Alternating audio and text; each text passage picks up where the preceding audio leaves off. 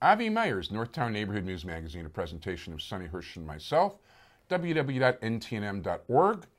Um, big on community policing. We hope Chicago Police complies also.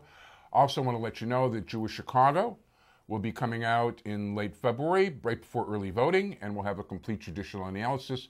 And speaking of judicial analyses, we really take pride in the fact that we like to introduce you to as many judicial candidates as possible because people don't even begin to realize how important a judge can be in their life. A lot more important than your state representative or state senator or even your congressman. Things can be very immediate. I mean, it, it could affect your life, it can affect your property, it can affect your freedom, you name it. Um, but anyway, at this point, it, I want to thank Joanna Klonsky for bringing him to my attention. I'd like to introduce you to a candidate for the sub circuit in the 6th District, Carlos Claudio. How are you? Good. How are you doing, Abby? Good, thank you. you. My pleasure. And uh, tell us a little bit about yourself. Okay, I grew up in the north side of Chicago. Uh, I attended uh, Chicago Public Schools, Kelvyn Park High School. I then went on to, uh, I studied law at uh, DePaul University. I did my undergrad there as well. I then became a state's attorney uh, with the Cook, uh, Cook, County State's Attorney, and I was there for a while with them and then went on, opened up my own practice in criminal defense, and I'm currently an administrative law judge with the Department of Employment Security, in addition to having my, my private practice focusing on criminal defense work. Now, what is an administrative law judge? An administrative law judge is someone that, um, you know, especially in my case with the state agency, what you're doing is you're looking at decisions that are rendered by, I said at the appellate level. So I look at decisions that hearing officers make with regards to uh, employment benefits, and I review those decisions and uh, either affirm or deny or send them back for more uh, for further hearing. Uh, after me, it's the circuit court that they would have to look at ah. to, to appeal any decisions from that state agency. Interesting. I, that's uh, you know I, I, learn more all the time. That's one of the things I like about this. So, um, well, I guess you you lifelong lawyer is. Uh, when did you decide you wanted to become a judge? You know, it happened in high school. It was a civics course that I took. And I've since learned that civics is no longer taught in high schools. Uh, but this particular course I took in high school sort of exposed me to the government, law, and what we as citizens, our rights are, and how we can uh, be successful participants as citizens. So that sort of start, ignited the spark, and I just, from there, it evolved. Yeah, it's interesting. And um, no, so listen, that that sounds like a great. By the way, where is uh, where is the high school you're talking about? It's on uh, Kostner and Wrightwood, the city of oh, Chicago. sure. Okay.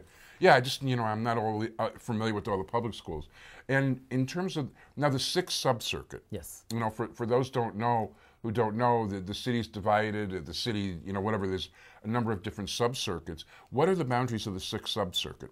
Sure. Okay. So on the north, you're talking about Lawrence and Central Park on the east. My father used to have a store at Lawrence and Central Park. Really? Yeah.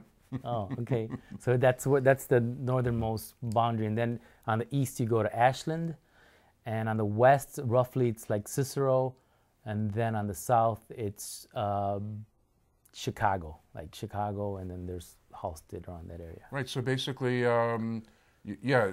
So near. Okay, I, I got the area. Basically, it's it's north side, um, from Ashland to Cicero. Right uh, from Chicago Avenue to about Lawrence. Yes. And I'm sure there's little zigzags. The exactly right. yeah, politicians have to put in their zigzags. That's right.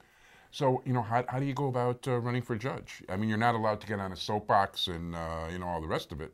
Right. Well, I think what I've tried to do in my campaign is I've tried to educate um, our community about how important it is to know who uh, the candidates for judge are. Because as you so well explained at the beginning, it's the one place where your life could change dramatically. In the criminal setting, you may be uh, go to jail. In the in the civil side, whether you're dealing with a divorce or an estate matter, these th- there are decisions that really affect your life, and they do it immediately. So we we need to be aware and, and conscious of knowing who we're electing to that position. I mean, there's a reason that judges get elected. I think it's because that accountability should be there. So the more informed we are as constituents, the better it is. I, I, definitely agree with you. There's no ifs, ands, or buts about it. Um, are you busy off off on the circuit? I mean, you're going to a different event every night, or Yes, been incredibly busy, and just i it's it's about going out there and making sure that you make a connection with the community as well. I mean, you have to you have to listen as well as as, as convey information because knocking on doors and talking to people, I've learned so much, and I've I have this sense that people are are disenchanted with government in general oh yeah, and and so they feel like you know there's a certain sense of of just losing hope. And Yeah. and I want to I, I tell people look it's up it's up to you you know? I, I want people to feel it's in their hands to change this right? I don't want us to be this this generation that sort of gave up on this bold and noble experiment that we call the United States. I, I think we could be the generation that says you know what? You know there's some things we need to fix and and we we are the ones to do it By the way, I'm very much agree with your uh, stance 100%. You, you bet things can be fixed, they just need to get fixed. Right. Absolutely. and um, unreal. So, you know, at least, you know, some of the sub-circuits are much more spread out. You're lucky you don't have the 8th where you're going to have to campaign all the way from the from the mid-south side all the way to, to the far lakefront. Right. But, um, you know, um, in your, um, how, how long, how long have you been practi- how long have you been practicing law total at this point? It's uh, I, I was admitted in 2002, so it's Oh, you're a fast riser. I mean, becoming, uh, you know, an administrative uh, judge, you know, in that short of time is pretty cool. thank you, So it definitely shows some intelligence, which I can also see in talking to you. thank you. So, um, I mean, you also have to plan your own events, I would imagine. Yes, plan our own. We just had our kickoff on Monday, and it went really well. We had over 100 people at uh, Revolution Brewery, and uh, people were excited. Uh, I think um, there's enthusiasm around my campaign because I, I'm, I make it a point to. This is about the people. It's it's about a reflection of the community, and that's what my I want my campaign to look like.